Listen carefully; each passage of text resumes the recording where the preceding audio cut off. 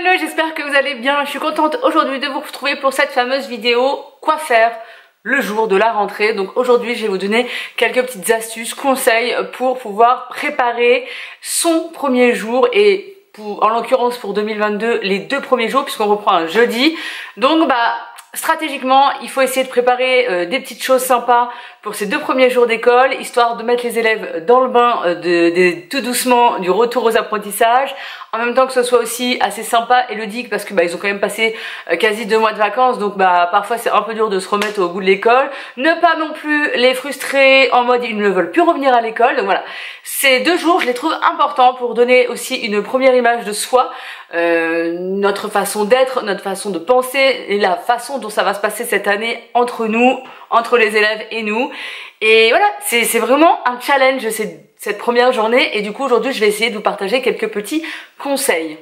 Premièrement, je vous conseille vraiment de savoir où vous arrivez, les horaires de l'école, euh, à quelle heure sont les récréations, puisque vous allez devoir établir un emploi du temps sur ces deux journées, un cahier journal. Moi, je vous conseille vraiment de préparer ces deux journées euh, au top du top pour que ce soit hyper bien calé, hyper bien euh, ficelé et que vous n'ayez pas beaucoup de temps, de trous, de temps libre pour éviter que les élèves s'ennuient ou fassent du bazar ou se disent bah tiens là il y a des moments de flottement, on peut faire ce qu'on veut. Donc vraiment il va falloir caler votre emploi du temps nickel au niveau des horaires de, de l'école.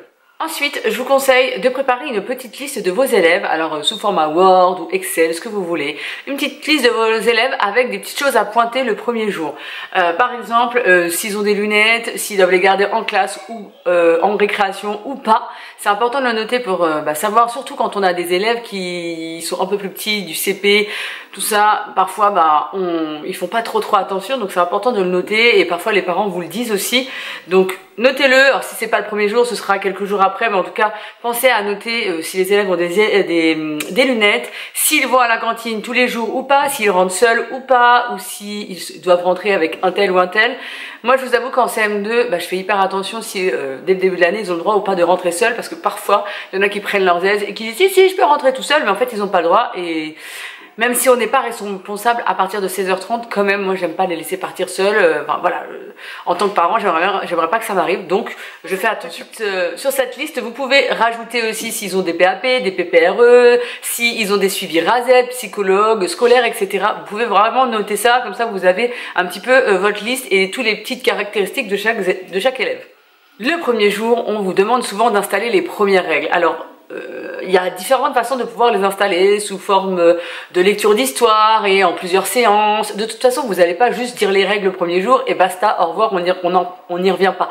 Euh, moi, je les installe euh, petit à petit au fur et à mesure du mois, surtout la première période. Mais après, c'est vous qui voyez, il y a plein, plein, plein d'idées, d'activités pour pouvoir se lancer. Mais en tout cas, en début d'année, on va en reparler et souvent, c'est au moment des collages de feuilles. Parce que le premier jour, quand les élèves s'installent, moi je leur demande de s'installer un petit peu comme ils veulent, euh, pour leur laisser voilà euh, ce côté un peu à l'aise. On rentre, on s'installe où on veut, avec le copain souvent, puis après on changera euh, quelques semaines après. Mais histoire qu'ils soient bien dans la classe en arrivant. Et souvent ces premiers jours, c'est le moment de coller toutes les feuilles dans le cahier de liaison, parce que alors ou dans ou mettre dans une pochette de liaison, ça dépend du fonctionnement de votre école. Mais si vous avez une, un cahier de liaison, souvent c'est le premier jour où on colle tous les papiers importants pour les parents. Et les parents, le premier week-end, ils doivent lire tout ça, signer tout ça, regarder ce qu'il faut remplir, etc., etc. Et du coup, pendant ce collage de feuilles, il y a souvent le règlement de l'école et nous, on en parle à ce moment-là. Et puis après, je reviens dessus souvent le deuxième jour avec une lecture d'histoire. Euh, même en CM2, je fais une lecture d'histoire. Alors, euh, j'avais un livre l'année dernière que j'utilisais qui parlait d'une histoire où, la classe était une famille. Euh, je vous retrouverai le nom. sinon, je vous mettrai ma vidéo où j'en parlais, ma rentrée de l'année dernière. Et mais, si vous restez connecté tous les jours dans cette vidéo, vous en entendrez parler. Puis de toute façon, je vais essayer de vous mettre dans mon drive mon cahier journal pour, pour le jeudi et le vendredi. Comme ça, vous aurez déjà une trame de ce que j'ai préparé pour mes élèves euh, dès que ce sera fait. Parce que euh, mon cahier journal, il est juste derrière là. Il est en cours. J'ai pas encore totalement fini euh, de fignoler mon emploi du temps parce que je veux que ce soit vraiment ces deux premiers jours soit nickel. Alors mon cahier journal, moi je le fais toujours nickel. Mais les deux premiers jours, je veux vraiment qu'il soit au top du top. Souvent, un des gros conseils pour ce premier jour ou ces premiers jours, c'est d'amener sa classe en silence jusqu'à la classe. Alors si vous les récupérez dans la cour et que vous les emmenez jusqu'à la classe, on vous demande euh, en tant qu'enseignant d'être au taquet sur euh, les règles euh, dans les couloirs, le silence complet et vraiment d'être exigeant de fou. Alors moi, je suis pas très exigeante habituellement sur les couloirs, ça me dérange pas quand mes élèves papotent.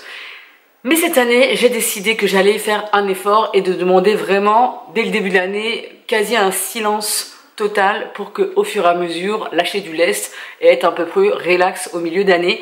Mais au moins ils auront compris le truc dès le début de l'année. Donc mieux vaut serrer fort la ceinture en début d'année même dans votre euh, rythme de classe.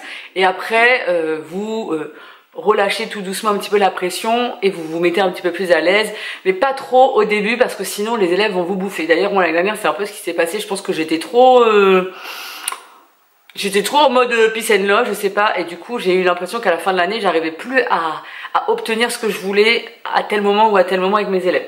Donc voilà, c'est à faire attention, même quand ça fait plusieurs années qu'on est enseignant, bah on, se plante encore. Hein. Donc euh, dans les premiers jours, on vous demande donc de les apporter, de les emmener en classe euh, silencieusement, et en classe donc ils s'installent comme ils le souhaitent, avec leurs copains ou pas, et du coup, c'est le moment d'accueil en classe. Alors moi, j'aime bien faire une petite présentation de moi. Et puis après, on se présente euh, entre nous, on parle un peu de soi. Et souvent, je fais un travail à l'écrit aussi, où on va écrire un petit peu euh, bah, ses, ses préférences, ce qu'on aime, euh, euh, du coup, j'ai plusieurs activités possibles. Je vous les mettrai à l'écran parce que ils sont sur mon iPad. J'ai un petit fanion que je fais remplir par mes élèves et j'ai aussi une fiche de présentation où on parle de soi, on dit nos passions, ce qu'on a fait cet été, euh, ce qu'on aime faire et tout ça. Et donc, bah, ça peut être un moyen de se connaître parce que même si moi, mes élèves, je les ai déjà croisés dans mon école et tout, puisque en CM2, bah, je les ai déjà vus, je les connais pas forcément. Parfois, je retiens absolument pas leur prénom. Donc, bah, là, ça va être l'occasion. D'ailleurs, si vous avez comme moi un problème pour retenir les prénoms, vous pouvez leur demander de mettre une petite étiquette avec leur prénom. Et moi, j'aime pas faire ça. Souvent, euh, je les fais répéter le premier jour 50 milliards de fois leur prénom, histoire de mémoriser. Et sinon, vraiment, si vous êtes au top, vous faites une sorte de petit plan de classe et vous notez les prénoms des élèves. Comme ça, vous allez les mémoriser en les interrogeant, en leur demandant la parole, etc. C'est vous qui voyez. Après, il y a plein de stratégies différentes. Mais ça vous permettra de les apprendre et de les retenir plus facilement. Donc en classe, on fait un petit mot de bienvenue, on peut euh, donc lancer euh, tout doucement euh, les présentations et présenter aussi le programme de la journée, qu'est-ce qu'on va faire aujourd'hui, tata, tata, tata, telle étape, telle étape, telle étape. Moi j'aime bien les noter au tableau puisque j'ai un une partie de mon tableau avec mon programme. Donc bah, je pense que je ferai ça aussi le premier jour. Et puis c'est là qu'on commence à distribuer les cahiers de liaison, euh, le cahier du jour, enfin pas tous les cahiers. Je vous conseille pas de donner tous les cahiers dès le premier jour et bim là, allez on colle, parce que les enfants ils vont en avoir ras la casquette. Donc priorité au cahier de liaison et puis peut-être euh, le cahier du jour si vous voulez vous en servir dans les deux jours ou le cahier de poésie par exemple parce que moi je sais que je vais m'en servir le deuxième jour. Donc bah, les cahiers, enfin euh, utilisez les cahiers dont vous avez la nécessité dans les premiers jours et faites ça après au fur et à mesure pendant la semaine parce que sinon vous allez les noyer sous les collages, ça va être le bazar dans votre classe. Faites ça tranquille. Essayez d'alterner activités écrites et activités à l'oral et des activités un peu plus traditionnelles de l'école avec peut-être des petites évals à certains moments et des activités un petit peu plus ludiques histoire que les élèves ne s'ennuient pas mais en même temps qu'ils soient pas que dans l'oral et en même temps qu'ils puissent aussi travailler pour que le soir quand ils rentrent chez eux ils se disent qu'est-ce que tu as fait à l'école? Bah c'était trop bien on n'a rien fait. Donc essayez de, varier les activités et quand même proposer peut-être des, des, exercices un peu fun sous forme d'énigmes par exemple ou de petits problèmes mathématiques. Euh, moi je vais sûrement faire ça sous forme d'Harry Potter qui va leur permettre d'entrer dans l'activité euh, de façon fun et en même temps d'avoir un petit peu eu cette sensation de travailler et vous ça vous permettra aussi de commencer à faire quelques évaluations diagnostiques pour voir le niveau de tel ou tel élève. Alors j'aime bien faire aussi dans les premiers jours, donc je sais pas si je le ferai le premier jour ou le deuxième jour, j'aime bien faire une sorte de brainstorming où je demande aux élèves de me noter sur des post-it euh, ce qu'ils ont envie cette année, quelle est euh, leur envie pour leur année de CM2 et on note et je le mets au tableau et puis on débriefe ensemble. J'adore faire ça le premier jour. L'année dernière j'avais adoré, enfin tous les ans je le fais de toute façon depuis que je suis en CM2 et à chaque fois ça me fait rire parce que hum, ça fait trois ans, ça va être ma quatrième année dans cette ville et les élèves me ressortent tout ce que j'ai fait l'année dernière avec mes anciens élèves. Donc ils veulent faire la même chose en fait que mes anciens élèves. Donc ça me fait beaucoup rire. Mais, euh, mais c'est quelque chose, voilà. alors il y en a, ils vont dire j'ai envie d'apprendre des maths. Alors souvent ça ne tombe pas sur les matières. Moi c'est hyper rare qu'ils m'ont dit euh, j'ai envie de faire du français, j'ai envie de faire de l'histoire. C'est hyper rare. Souvent, ils m'ont dit les trucs fun que euh, j'ai fait avec mes anciens élèves. Donc, Voilà, je les laisse parler et, euh, et on prend les idées qui viennent, on en parle et on va finir par euh, débriefer sur le programme de l'année, qu'est-ce qui nous attend cette année dans notre niveau? Alors moi, le CM2, mais si vous c'est en CP, je le faisais aussi avec des CP, évidemment, évidemment d'une autre façon. Hein. Je le faisais pas avec des post-it, etc. Parce qu'en CP c'est un peu compliqué dès qu'ils arrivent à écrire trois mots. Mais euh, mais vous pouvez prendre leurs idées et faire une sorte de brainstorming comme ça, mais à l'oral. Et c'est vous qui, en, sous forme de dictée à l'adulte, c'est à vous de voir. Une autre idée aussi, c'est d'observer un petit peu ensemble la classe et d'essayer de déduire le fonctionnement de la classe tous ensemble. Moi, j'ai énormément de choses dans ma décoration de classe et justement, ça va être l'occasion de déduire ensemble. Est-ce que vous aurez le droit de vous lever euh, dans la classe facilement? Est-ce que euh, vous savez où on peut prendre des mouchoirs? Est-ce que vous savez où sont les réserves de classe? Est-ce que vous avez remarqué que à tel endroit il y avait un coin lecture? Voilà, on va parler ensemble de notre classe. Ça va nous permettre tous ensemble de, de déterminer en même temps de façon un peu détournée quelques règles de la classe. Et, euh, et ça va me permettre de leur dire de ne pas se lever n'importe quand dans la classe, qu'ils ont le droit de se lever uniquement pour aller chercher un mouchoir ou chercher un, un, stylo dans leur réserve si vraiment c'est urgent. Voilà, je vais faire ça avec eux, euh, mais ça va. En observant la classe, on va en déduire euh, plein plein de règles sous-jacentes, et ça c'est super intéressant de le faire comme ça, euh, je trouve dans la classe. Alors il y a plein de façons de le faire, hein. mais moi ce moment-là, je vais le faire à l'oral, et ça permettra aussi de travailler l'observation, euh, la collectivité, la prise de parole, puisque là il va falloir essayer d'écouter ce que disent les autres pour éviter de répéter 50 fois la même chose que le copain. Donc tout ça, ça, aborde, ça aborde déjà plein de premières règles euh, dans la vie de classe en ces deux premiers jours. Alors il y a plein d'activités possibles pour, euh, pour, le, pour les premiers jours. Moi je vous en ai noté quelques-unes. Euh, et si vous voulez plus d'informations, j'essaierai de, vous, de vous trouver des petites choses à vous mettre dans la barre d'infos, des blogs ou des choses que j'ai trouvées sur internet. Mais en tout cas moi je vais vous mettre un peu mes activités, euh, on vous dit souvent de mettre en place tout doucement les cahiers, les pages de garde, donc tout ça, ça prend quand même du temps, hein. de coller les feuilles dans le cahier de liaison, tout ça, ça prend euh, bien une heure, deux heures hein, parfois. Hein. Alors, faut le faire, si ça devient trop long, faites-le en alternance. Et hum, c'est le moment aussi de commencer à donner quelques petites habitudes de travail. Donc moi, j'ai bien envie de commencer mes rituels du matin dès le premier jour. et le matin, j'aimerais faire vraiment des rituels ciblés. Alors j'hésite à leur faire une roue à mes élèves où ils pourront tourner la roue et bah, selon euh, sur quoi ils vont tomber, bah, par exemple, ça va être le rituel de vocabulaire. S'ils tombent sur le, les problèmes, ça va être l'énigme de mathématiques Harry Potter. J'hésite à faire un truc comme ça, faut que je vois si j'ai le temps avant la rentrée. Mais en tout cas, voilà, je vais essayer de cibler des rituels et euh, absolument le faire tous les matins. Donc là, je vais commencer dès la rentrée. Hein. Euh, peut-être pas tout de suite le premier jour, mais peut-être l'après-midi avec déjà un rituel de calcul mental. Ou... Voilà, vous pouvez commencer à faire des petites activités comme ça, un peu fun, mais qui mettent tout doucement, euh, qui rentrent les élèves tout doucement dans le travail. Pouvez aussi choisir comme moi un thème, un thème un peu particulier qui va permettre aux élèves de de donner une ambiance de classe. Alors moi, le thème Harry Potter, je l'adore, mais c'est vrai qu'au bout d'un moment, je pense que je vais finir par m'en lasser, donc je passerai à autre chose, ou je vais le détourner, je verrai. Mais ce thème-là, je sais que c'est un thème qui est très euh, moteur dans une classe, ça donne une ambiance de folie, et tout ça, c'est hyper important. Si vous n'avez aucun thème, parce que vous changez de classe tout le temps, bah, je comprends, et honnêtement, n'ayez aucun stress. Mais le jour où vous avez une classe à vous, c'est vrai qu'un petit thème de classe, euh, ça peut être hyper motivant pour les élèves. Donc moi je vous conseille d'en trouver un qui vous correspond, qui vous fait plaisir. Faites-vous, là c'est le moment de vous, faire plaisir. Donc euh, un petit thème de classe, ça fait toujours plaisir que ce soit à l'enseignant et aux élèves. Après chaque activité, je vous conseille de faire un petit bilan euh, de ce moment qu'on a partagé ensemble, histoire de conclure. Et en fin de journée aussi, euh, surtout le premier jour, faites un bilan de la journée, euh, rappelez aux élèves ce qu'on a fait, euh, comme ça ça va les remettre tout doucement dans le bain de l'école. Dans les activités qui sont possibles, vous avez aussi lire euh, des histoires autour de la rentrée des classes, ça c'est quand même assez traditionnel je pense dans toutes les classes, que ce soit de la maternelle ou CM2. voilà, ça, ça, permet de remettre un pied aussi dans la lecture, d'écouter quelque chose lu par la maîtresse quand c'est pas les élèves qui le lisent, donc vraiment c'est top top top. Et pour des grands comme moi, ça peut être de présenter un livre à la classe, présenter un texte à la classe. Donc moi je pense que dans les premiers jours, je vais leur présenter euh, le livre Harry Potter, le tome 1, pour leur dire voilà, on va débuter bim sur le tome 1, ça va se passer comme ça, et je vais direct leur donner les bases avec mes exigences de travail et de travail à la maison, de lecture à la maison, je vais, je vais les mettre direct dans le bain. Vous pouvez aussi dans les premiers jours écrire ou lire une poésie sur la rentrée ou commencer à l'apprendre si vous êtes en maternelle.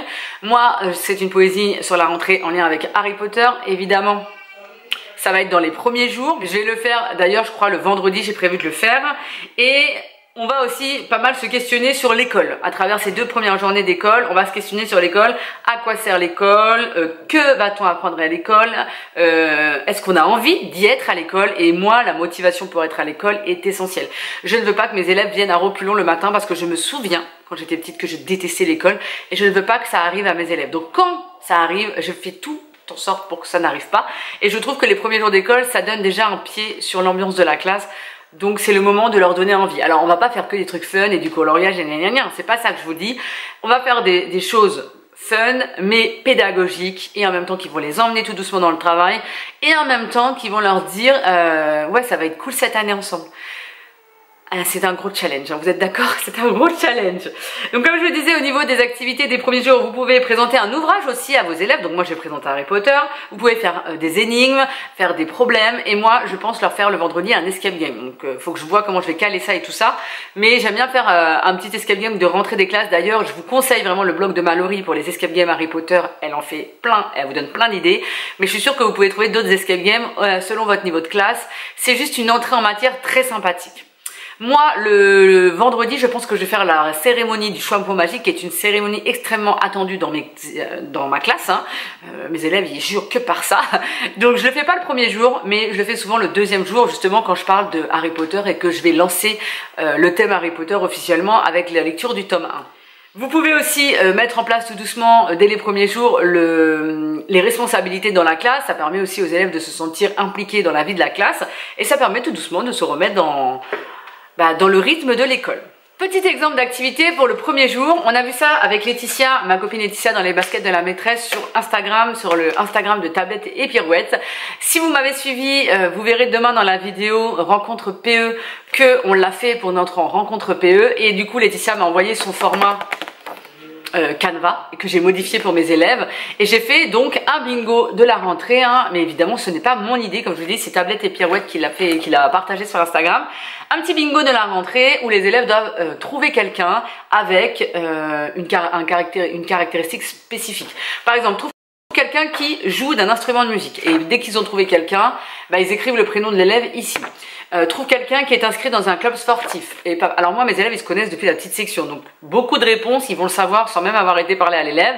Mais euh, j'espère avoir mis quelques pièges, quelques petits trucs un peu euh, qui va les faire réfléchir. Je ne sais pas, on verra. En tout cas, je les ai fait en version plastifiée. Comme ça, ils vont écrire au feutre Velleda et je pourrai les effacer, les récupérer. Donc ça, je vais leur coller avec un petit bout de pâte à fixe sur leur table. Ils n'auront pas le droit de l'emmener à l'extérieur. Ils devront donc faire leur petite enquête pendant euh, un petit temps et venir le noter en rentrant en classe pour remplir leur, euh, leur petite case. Quand ils ont rempli leur case, je vais sûrement leur donner accès à ma boîte à cadeaux. si vous suivez mes vidéos maîtresses, vous savez que dans ma classe, j'ai une boîte à cadeaux et ils vont pouvoir euh, avoir accès à cette boîte à cadeaux. Je verrai où je leur donnerai un privilège je verrai comment je vais goupiller ça, mais en tout cas, ça va être une de mes activités de rentrée. Donc moi, je vais faire ça pour la rentrée. Ça, ça va être une petite activité euh, à côté. Je vais faire un escape game, logiquement. Je vais euh, évidemment présenter tous mes cahiers, mon fonctionnement de classe. On va tout doucement faire le fameux euh, brainstorming où on va parler de toutes les idées de, qui nous attendent pour notre année de CM2. Enfin voilà, j'ai pas mal d'idées. Je vous mets dans mon drive, mon cahier journal si ça vous intéresse. Comme ça, vous aurez la trame et vous aurez les idées un petit peu de ce que je vais préparer. Et puis sur ce, j'espère vous avoir donné un maximum de conseils pour euh, entamer cette première journée de rentrée des classes euh, tranquillement et euh, avec sérénité. Sur ce, je vous invite à liker cette vidéo, à vous abonner si elle vous a plu, si ces conseils vous ont vraiment intéressé, vous ont éclairé pour votre première journée. J'essaie de vous mettre... de vous donner un maximum de choses dans la barre d'infos. je ferai de mon mieux dans le peu de temps que j'ai. Mais en tout cas, si c'est pas fait là tout de suite au moment où vous allez cliquer peut-être que ça sera fait demain donc revenez euh, voir cette vidéo et, vous inspirer de nouveau mais euh, j'ai donné tous les conseils que je pouvais donner et de toute façon on se retrouve tous les jours comme je vous le disais jusqu'à 18h et vous verrez mon premier jour d'école, vous verrez euh, ce que j'ai préparé pour mes élèves, vous verrez mon organisation dans les prochaines vidéos, dans mes petits vlogs du samedi, voilà, restez, restez connectés. Sur ce, je vous fais des gros bisous et euh, je vous retrouve dans les commentaires pour me dire, vous, si vous avez des super idées d'activités, n'hésitez pas à me dire ça dans les commentaires. Euh, que vous soyez prof ou pas prof, je sais qu'il y a des élèves aussi qui regardent cette vidéo. Eh ben, n'hésitez pas à me dire, vous, ce que vous avez retenu de votre première journée avec tel enseignant ou tel enseignant. Ça peut donner des idées à, d'autres collègues, à, à d'autres profs. Ça peut être vraiment cool de partager ça ensemble. Donc, on se retrouve dans les commentaires. Sur ce, des bisous